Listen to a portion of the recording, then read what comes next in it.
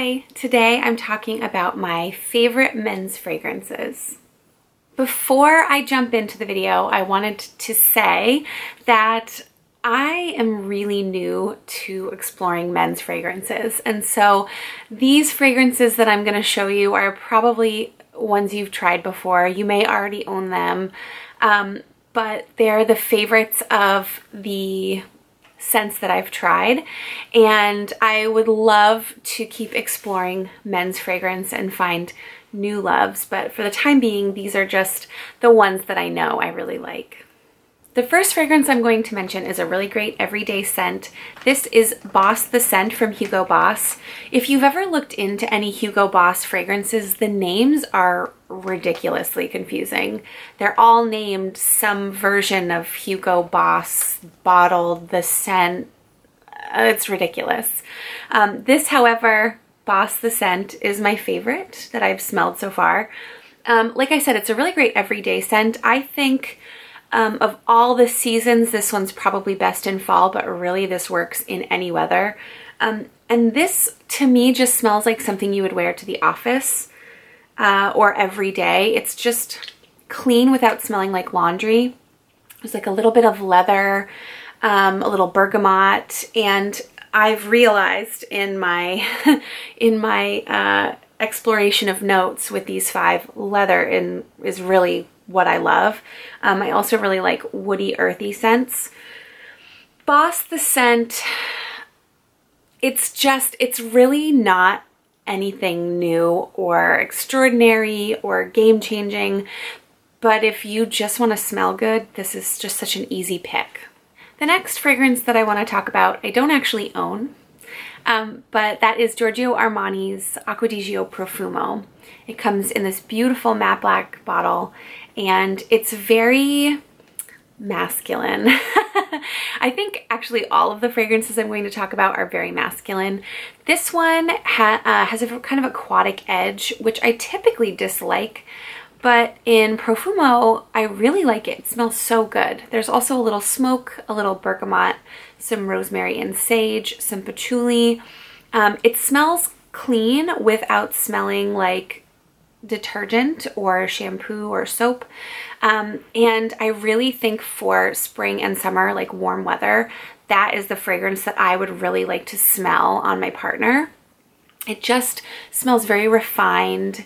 Um, there, I, I kind of get like a little bit of a leathery note, although I don't think there's any leather in it. Um, but it just has that really like cool kind of vibe to it, like that leather jacket kind of vibe, but summertime version. The next fragrance I have to show you is a lot less of an everyday scent and a little bit more of an occasion scent, and that is Mugler's Pure Coffee from the Amen line. I have limited experience with the flankers of Amen.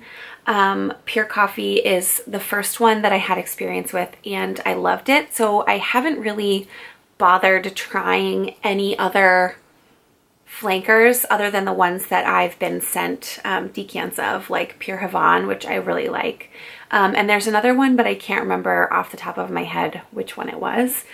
This is patchouli and coffee for sure. Like that's all I get. I love coffee. I used to work at Starbucks. Coffee, the smell of coffee holds a very special place in my heart. So smelling the giant dose of black coffee that I get when you first spray this, oh, it just like hits something nostalgic in me and brings me back to like my first long-term job and I don't know, I just really like that because of this. The dry down of this is also really good. Um, it's a little sweet and earthy and a little woody. Um, I find that this does better in colder weather. It's just very heavy and loud. Um, although I think that this is a very sexy scent and I think that this could work really well on a date night. Um, even though it projects really well, it would be fine for like closer encounters.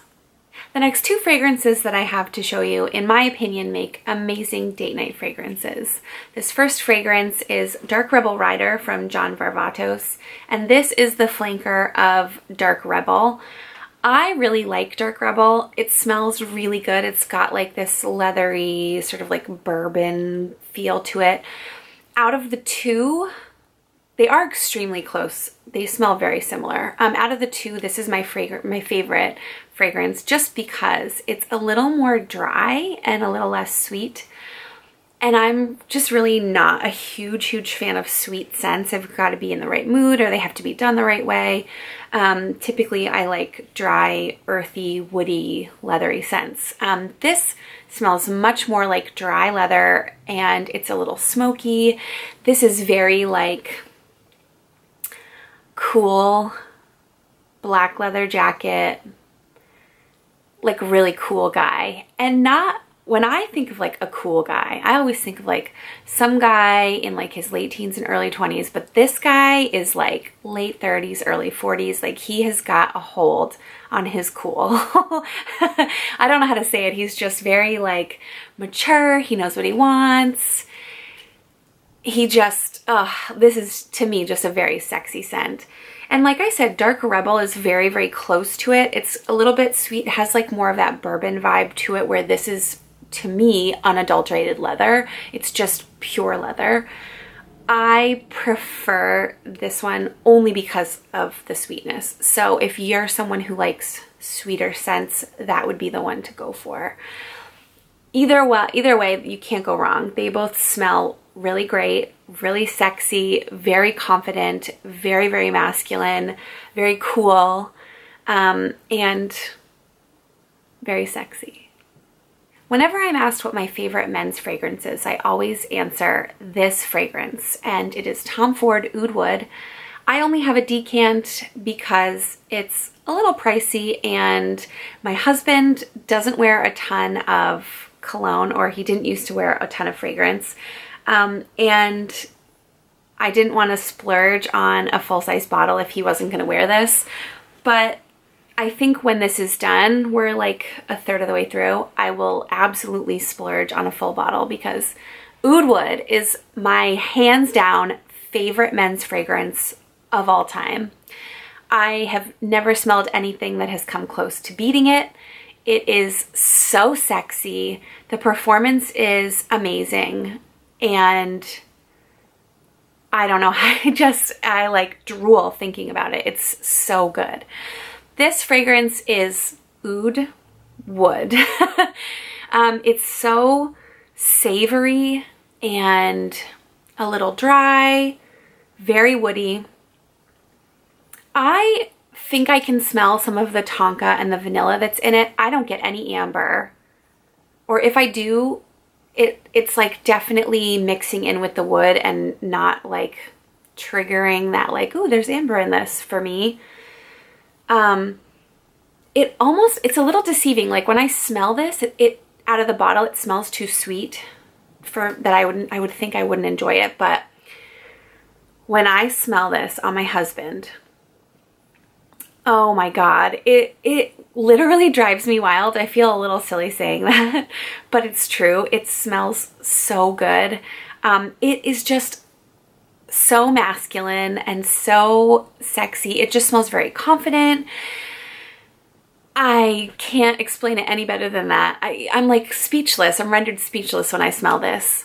You know, it doesn't smell like too juvenile and it doesn't smell too mature either. I think it really hits that like middle, that really like sweet spot in the middle where it doesn't smell like my grandpa, but it doesn't smell like the teenagers that live in my neighborhood or or acts like the teenagers of my own childhood. It just smells very